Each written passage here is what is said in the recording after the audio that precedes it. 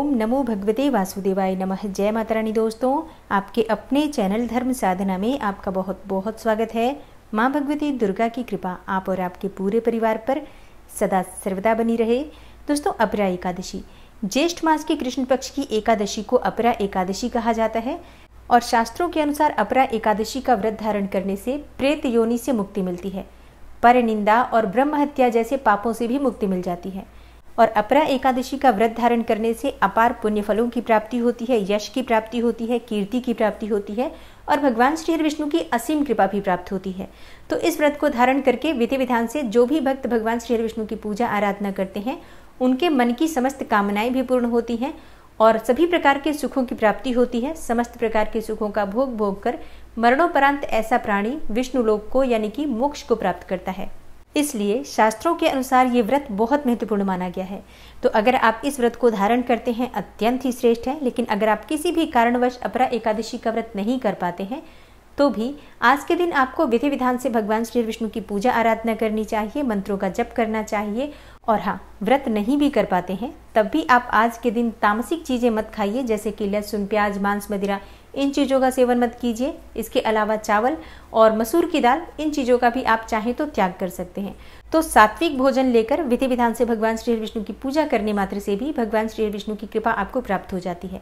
दोस्तों, आज की वीडियो में मैं आपसे बात करने वाली हूँ अपरा एकादशी व्रत के बारे में। अपरा एकादशी की तिथि कब प्रारंभ हो रही है, कब समाप्त हो रही है, व्रत आप कब धारण करेंगे और पारण करने का, यानी कि व्रत खोलने का शुभ मुहूर्त क्या होगा? द्वादशी तिथि कब प्रारंभ होगी, कब समाप्त होगी, हरिवासर की समाप्ति का समय क्या होगा? और भगवान श्री विष्णु की पूजा आज के दिन आपको किस प्रकार से करनी चाहिए? कौन से मंत्र हैं जिनका जप करने मात्र से आपके मन की कोई भी कामना पूर्ण हो सकती है? और कौन सा उपाय है जिसको करने मात्र से आपके जीवन की सभी परेशानियाँ समाप्त हो सकती हैं? आज की वीडियो में मैं आपसे शेयर करने वाली हूँ। बहुत सारे ऐसे उपाय जिन्हें अगर आप आज के दिन करते हैं तो निश्चित ही आप किसी भी प्रकार की परेशानी से मुक्ति पा जाएँगे और भगवान श्री विष्णु की असीम कृपा भी आपको प्राप्त होगी, व्रत का संपूर्ण फल भी आपको प्राप्त होगा। व्रत नहीं करते हैं, सिर्फ़ पूजा करते हैं तो पूजा करते समय भी आप ये उपाय कर सकते हैं और निश्चित ही आपकी कोई भी मनोकामना हो, भगवान श्री विष्णु की जब असीम कृपा प्राप्त हो जाती है तो कोई भी वस्तु संसार में नहीं, जो कि दुर्लभ हो, अप्राप्य हो। सब कुछ प्राप्त हो जाता है जब भगवान श्री विष्णु की कृपा प्राप्त हो जाती है।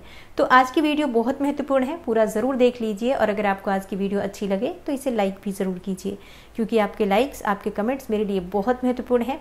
यही एकमात्र ज़रिया है जिनसे मुझे पता चलता है कि आपको ये वीडियो अच्छी लगती है और आपके लिए ये वीडियो उपयोगी है। तो अगर वीडियो अच्छी लगती है तो लाइक तो ज़रूर ही किया करें। इसके साथ ही कमेंट बॉक्स में माता रानी के नाम का जयकारा भी ज़रूर लगाएँ। और अगर आप चैनल पर पहली बार आए हैं, अभी तक आपने चैनल को सब्सक्राइब नहीं किया है तो आज की वीडियो अगर आपको अच्छी लगे तो चैनल को सब्सक्राइब ज़रूर कर लीजिए और बेल बटन को भी प्रेस कर लीजिए। तो इससे ये होगा कि इस चैनल पर जो भी नई वीडियो अपलोड होंगी, उनकी नोटिफिकेशन आपको सही समय पर प्राप्त होगी। तो सबसे पहले बात करते हैं कि अपरा एकादशी की तिथि कब प्रारंभ हो रही है, कब समाप्त हो रही है। देखिए, अपरा एकादशी की तिथि प्रारंभ हो जाएगी पंद्रह मई को सुबह दो बजकर छियालीस मिनट पर और समाप्त होगी सोलह मई को सुबह एक बजकर तीन मिनट पर। तो ऐसे में 15 मई को सूर्योदय कालीन तिथि के अनुसार अपरा एकादशी का व्रत रखा जाएगा। सोमवार का दिन होगा। और हाँ एकादशी व्रत का पारण आप द्वादशी तिथि में करते हैं तो द्वादशी तिथि प्रारंभ हो रही है 16 मई को सुबह एक बजकर तीन मिनट पर। और समाप्त होगी 16 मई की ही रात्रि में ग्यारह बजकर छत्तीस मिनट पर। और हरिवासर की समाप्ति का समय होगा 16 मई को सुबह छः बजकर इकतालीस मिनट पर। और हरिवासर की समाप्ति और सूर्योदय होने के बाद ही आप अपना व्रत खोल सकते हैं। तो सूर्योदय काल तो सुबह पाँच बजकर चालीस मिनट पर ही हो जाएगा, लेकिन जब तक हरिवासर समाप्त नहीं होगा, तब तक आप व्रत नहीं खोल सकते हैं। इसलिए व्रत खोलने का शुभ मुहूर्त होगा सोलह मई को, सुबह छः बजकर इकतालीस मिनट से सुबह आठ बजकर तेरह मिनट तक। इसी शुभ मुहूर्त में आप अपना व्रत खोल सकते हैं, व्रत का पारण कर सकते हैं। शुभ मुहूर्त बीतने के बाद अगर आप व्रत खोलते हैं तो शास्त्रों के अनुसार आपके किए गए व्रत का संपूर्ण फल आपको प्राप्त नहीं होता। ऐसा ही हरिवासर के लिए भी कहा गया है कि हरिवासर जब तक समाप्त नहीं होता, तब तक भी व्रत नहीं खोलना चाहिए। तो छः बजकर इकतालीस मिनट से आठ बजकर तेरह मिनट तक ये शुभ मुहूर्त है। इसी समय में आप अपना व्रत खोल लीजिए।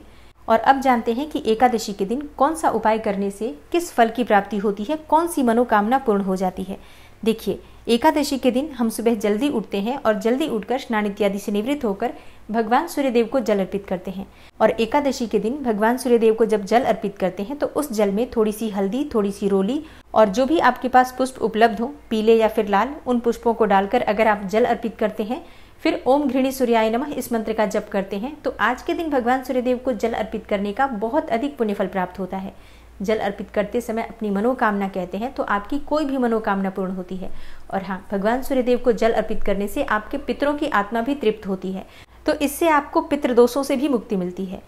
इसके बाद जब आप अपने घर के मंदिर में आते हैं तो भगवान श्री विष्णु की विधि विधान से पूजा करते हैं।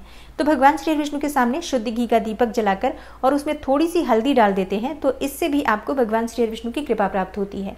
और हाँ आज के दिन भगवान श्री विष्णु का अगर विग्रह है आपके पास, जैसे कि शालिग्राम जी हो या लड्डू गोपाल जी हो या कोई भी चतुर्भुज स्वरूप भी अगर आपके पास भगवान श्री विष्णु का हो तो उनका अभिषेक अगर आप दक्षिणावर्ती शंख में कच्चा दूध भरकर करते हैं, केसर मिश्रित दूध भरकर अगर आप अभिषेक करते हैं तो सुख समृद्धि सौभाग्य की भी प्राप्ति होती है और मन वांछित फल की प्राप्ति होती है। और जिन भक्तों के पास दक्षिणावर्ती शंख ना हो, लेकिन अगर आपके पास दूध है, केसर है तो आप किसी पात्र में भरकर भी भगवान श्री विष्णु का इसी से अभिषेक कर सकते हैं। और इसके अलावा आप चाहे तो जल में थोड़ी सी हल्दी मिलाकर भी भगवान श्री विष्णु का अभिषेक कर सकते हैं। इससे आपके घर में शुभता आती है। अगर आपके घर में बहुत समय से मांगलिक कार्य रुका हुआ है, जैसे कि शादी, ब्याह में परेशानियाँ आ रही हैं या फिर संतान की प्राप्ति नहीं हो पाती है, घर में कोई भी शुभ कार्य नहीं हो पाता है, हर शुभ कार्य में बाधा आती है तो हल्दी मिश्रित जल से अगर आप भगवान श्री विष्णु का अभिषेक करते हैं तो सभी मांगलिक कार्य प्रारंभ हो जाते हैं। और भगवान श्री विष्णु का चरणामृत, जो कि भगवान श्री विष्णु का अभिषेक किया हुआ जल होता है, उससे अगर आप अपने पूरे घर में छिड़काव करते हैं तो समस्त प्रकार की नकारात्मक ऊर्जा आपके घर से समाप्त हो जाती है और हर प्रकार की सुख समृद्धि की आपके घर में प्राप्ति होती है। घर से कलह क्लेश दूर होता है, बीमारियाँ दूर होती हैं, आर्थिक तंगी दूर हो जाती है इस उपाय को करने से। एकादशी के दिन भगवान श्री विष्णु को अगर आप पीले पुष्प अर्पित करते हैं, पीले पुष्पों की माला अर्पित करते हैं तो इससे आपके जीवन में शुभता आती है, मन वांछित फलों की प्राप्ति होती है, हर प्रकार की सुख समृद्धि प्राप्त हो जाती है, मात्र पीले पुष्प अर्पित करने से। तो अगर आप व्रत नहीं भी करते हैं तो भी आपको विधि विधान से भगवान श्री विष्णु की पूजा करनी चाहिए और पीले पुष्प अवश्य अर्पित करने चाहिए। आज संयुक्त रूप से श्री हरि विष्णु और माँ लक्ष्मी की आराधना करने से आर्थिक तंगी दूर होती है, दाम्पत्य जीवन सुखमय होता है, विवाह में बाधाएँ आ रही हैं तो विवाह सुयोग्य वर से संपन्न होता है। संतान प्राप्ति में बाधा है तो उत्तम और योग्य संतान की प्राप्ति होती है। मतलब भगवान श्री विष्णु और माँ लक्ष्मी की संयुक्त पूजा से कोई भी ऐसी मनोकामना नहीं जो पूर्ण न हो, समस्त कामनाएँ पूर्ण हो जाती हैं। एकादशी के दिन पंचामृत का भोग भगवान को अर्पित करना चाहिए। कहा जाता है कि आज के दिन पंचामृत से भगवान का अभिषेक करने से और पंचामृत भोग में अर्पित करने से सभी प्रकार के सुखों की प्राप्ति होती है, क्योंकि इसमें दूध, दही, घी, शहद, शक्कर, इन पाँचों को अमृत कहा गया है। और अमृत भगवान को अर्पित करने से आपका भी जीवन अमृत तुल्य हो जाता है। मन वांछित फलों की प्राप्ति होती है। और हाँ ये पंचामृत भोग स्वरूप भगवान को अर्पित करने के बाद प्रसाद स्वरूप परिवार के सभी सदस्य ग्रहण करते हैं तो इससे आपके अंदर के विकार दूर होते हैं। किसी भी प्रकार की नकारात्मक ऊर्जा, नकारात्मक विचार आपके मन में आते हैं तो वो समाप्त हो जाते हैं। किसी बीमारी से परेशान है, नियमित तौर पर भगवान को पंचामृत अर्पित करके और उसे ग्रहण करते हैं अगर आप तो बीमारियों से भी मुक्ति मिलती है। और मन में भक्ति उत्पन्न होती है। भगवान श्री हरि विष्णु के चरणों में आपका प्रेम बढ़ता है। और हाँ जब भी आप भगवान को भोग अर्पित करते हैं, चाहे पंचामृत का, फल का या मिठाई का, कोई भी वस्तु भगवान को अर्पित करते हैं, उसमें तुलसी का पत्ता अवश्य होना चाहिए। और भगवान को भोग अर्पित करने के बाद वो तुलसी का पत्ता भी आपको ज़रूर ग्रहण करना चाहिए। और पूजा करते समय मंत्र जब तो सभी करते हैं। भगवान श्री हरि विष्णु का जो सबसे प्रिय मंत्र है, ओम नमो भगवते वासुदेवाय नमः, इस मंत्र का अधिक से अधिक आज के दिन जप करना चाहिए। और वैसे तो ये मंत्र आप चाहें तो रुद्राक्ष की माला से भी जप सकते हैं। माला ना हो तो हाथों से भी मतलब कर माला से भी जप सकते हैं। वैसे भी बिना गिने यथा संभव भी जप कर सकते हैं। लेकिन अगर आपके पास तुलसी की माला है तो तुलसी की माला से अगर आप भगवान श्री विष्णु के किसी भी मंत्र का जप करते हैं तो उसका आपको हज़ारों गुना, लाखों गुना फल प्राप्त होता है। और भगवान श्री हरि विष्णु इतने प्रसन्न होते हैं आपके इस कार्य के द्वारा कि वो आपको मन वांछित फल का वरदान देते हैं। तो अगर आपके पास तुलसी की माला हो तो ये उपाय भी आप ज़रूर कर लीजिए। और एकादशी के दिन तुलसी में जल नहीं दिया जाता है, तुलसी के पत्ते तोड़े नहीं जाते हैं, लेकिन शाम के समय तुलसी में दीप दान ज़रूर करना चाहिए। शाम को अगर तुलसी में दीप दान करते हैं आप, उस दीपक में अगर आप थोड़ी सी हल्दी डालते हैं थोड़ी सी इलायची डालते हैं मतलब एक या दो इलायची डाल दीजिए, चाहे तो थोड़ा सा केसर डाल सकते हैं, और उसके बाद दीपक प्रज्वलित करके अपने मन की कामना कहते हैं तो माँ तुलसी और श्री हरि विष्णु की कृपा से आपको मन वांछित फल प्राप्ति का वरदान प्राप्त हो जाता है। मतलब जो आप चाहते हैं, वो वरदान आप भगवान श्री विष्णु आपको दे देते हैं। तो ये बहुत श्रेष्ठ उपाय है। एकादशी के दिन भगवान श्री विष्णु और तुलसी की संयुक्त पूजा करने से भी किसी भी प्रकार की कामना पूर्ण हो जाती है। अब ध्यान रखिए कि आज के दिन तुलसी को स्पर्श नहीं किया जाता है। तो परिक्रमा भी जो आप करते हैं, वो बस दूर दूर से परिक्रमा कर लीजिएगा। तुलसी को स्पर्श नहीं करना चाहिए। वृक्षों में मैं पीपल हूँ। ऐसा भगवान श्री हरि विष्णु भगवत गीता में कहते हैं।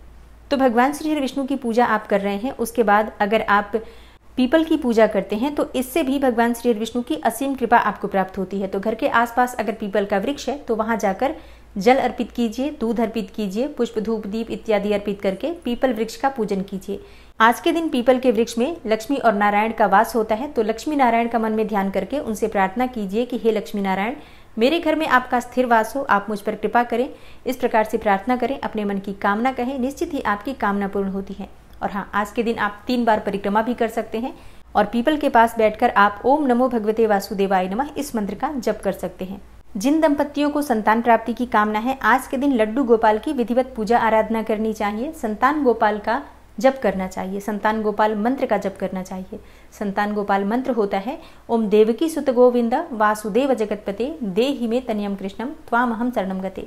इस मंत्र का जप करने से शास्त्रों के अनुसार निश्चित ही संतान की प्राप्ति होती है।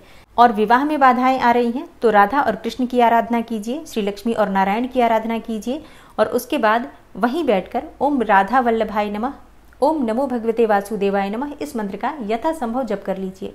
और हाँ एकादशी के दिन गीता का पाठ अगर आप करते हैं तो आपकी पितरों की आत्माएँ तृप्त होती हैं। पितृ जब प्रसन्न हो जाते हैं तो किसी भी प्रकार की बाधा आपके जीवन में रह नहीं जाती है। सभी प्रकार की बाधाएँ भी समाप्त हो जाती हैं, क्योंकि पितृदोष जब समाप्त होगा तो वंश की भी वृद्धि होती है, धन की भी वृद्धि होती है, और आपके कार्य भी सफल हो जाते हैं। इसलिए आज के दिन यथासंभव भगवत गीता का पाठ ज़रूर करना चाहिए। अब बहुत से भक्तों के प्रश्न आते हैं कि कौन सा अध्याय पढ़े? वैसे तो देखिए, कोई सा भी अध्याय आप पढ़ सकते हैं, लेकिन ऐसा कहा जाता है कि अगर आज के दिन, यानी कि एकादशी के दिन ग्यारहवें अध्याय का पाठ किया जाता है, या फिर सातवें अध्याय का पाठ किया जाता है तो इसे ज़्यादा श्रेष्ठ माना जाता है। बाकी आप किसी भी अध्याय का पाठ कर सकते हैं। अगर आप पाठ नहीं भी कर पाते हैं तो पुस्तक की पूजा ज़रूर कर लीजिए। भगवत गीता की पुस्तक के पूजन करने मात्र से भी मन की समस्त कामनाएँ पूर्ण होती हैं, क्योंकि समस्त प्रकार के पाप कर्म भगवत गीता के दर्शन करने मात्र से ही समाप्त हो जाते हैं। और एकादशी के दिन भगवान श्री हरि विष्णु के समक्ष शुद्ध घी का अखंड दीपक प्रज्वलित करके भजन कीर्तन करने से समस्त प्रकार के पापों से मुक्ति मिलती है। समस्त प्रकार के विकारों से मुक्ति मिलती है। भगवान श्री हरि विष्णु की असीम कृपा आपको प्राप्त होती है और किसी भी प्रकार की इच्छा हो आपकी, कोई भी आपकी मनोकामना हो पूर्ण होती है। बस आपको ध्यान रखना है, अगर आपकी कोई विशेष मनोकामना है तो दीपक प्रज्वलित करते समय अपने मन की कामना भगवान श्री विष्णु से कहिए। और जैसे कि एकादशी के दिन 24 घंटे के लिए भी आप अखंड दीपक प्रज्वलित कर सकते हैं, और मान लीजिए कि आप पूरे 24 घंटे दीपक नहीं प्रज्वलित कर पाते हैं तो ऐसे में सिर्फ़ रात्रि के लिए दीपक ज़रूर प्रज्वलित कीजिए। मतलब रात्रि में पूरी रात्रि दीपक जलता रहे वहाँ आपसे जितने समय भी हो सके भजन कीर्तन कर लीजिए, नाम जप कर लीजिए, भगवत गीता का पाठ कर लीजिए, विष्णु सहस्त्र नाम का पाठ कर लीजिए, गजेंद्र मोक्ष का पाठ कर लीजिए मतलब अपनी इच्छा के अनुसार किसी भी मंत्र का, किसी भी स्त्रोत्र का पाठ कर सकते हैं। देखिए, विष्णु सहस्त्र नाम का पाठ करने से सभी प्रकार के सुखों की प्राप्ति होती है। यस्य स्मरण मात्रेण जन्म संसार बंधनात् विमुच्यते नमस्तस्मय विष्णवे प्रभ विष्णवे। इसके स्मरण करने मात्र से ही सभी प्रकार के पापों से मुक्ति मिल जाती है। तो भगवान श्री विष्णु का नाम जप ही काफ़ी होता है। और अगर आप कर्ज से परेशान हैं, ऋण से परेशान हैं तो किसी भी प्रकार के ऋण से मुक्ति के लिए, किसी भी प्रकार के बंधन से मुक्ति के लिए गजेंद्र मोक्ष का पाठ किया जाता है। अपरा एकादशी के दिन फल का दान करने से, जल का दान करने से अत्यंत ही श्रेष्ठ फल की प्राप्ति होती है। मतलब जीवन में किसी भी प्रकार के फल की कामना हो, सुखमय जीवन की कामना हो, घर में सुख सुविधाओं की कामना हो, भौतिक सुखों की कामना हो तो जल और फल का दान एकादशी के दिन ज़रूर करना चाहिए। लोगों को अगर आप फलाहार कराते हैं मतलब कुछ ऐसे लोग जो कि व्रत करते हैं, ऐसे लोगों को अगर आप फलाहार कराते हैं तो इससे आपको अत्यंत ही श्रेष्ठ फल की प्राप्ति होती है, पुण्य फल की प्राप्ति होती है। और हाँ अगर आप अन्न का दान करना चाहते हैं तो द्वादशी तिथि के दिन अन्न का भी दान कर सकते हैं, वस्त्र इत्यादि जो भी आप दान करना चाहते हैं, अगर आप द्वादशी तिथि के दिन किसी ब्राह्मण को दान करते हैं, जरूरतमंदों को दान करते हैं मतलब जरूरतमंदों की मदद करते हैं, ब्राह्मणों को दान करते हैं तो आपके जीवन की समस्त प्रकार की बाधाएँ दूर होती है। नौकरी में, व्यापार में, अगर आप बहुत अधिक परेशानी में हैं तो उनसे आपको मुक्ति मिलती है। तो अपरा एकादशी से संबंधित ये है आज की वीडियो, जिसमें मैंने अपरा एकादशी की पूजा विधि और आपको सभी उपाय भी शेयर किए हैं। वैसे उपाय तो बहुत हैं, लेकिन जितना हो सका है मैंने आपको इसमें सरल भाषा में समझाने की कोशिश की है। उम्मीद करती हूँ आपको वीडियो पसंद आई होगी।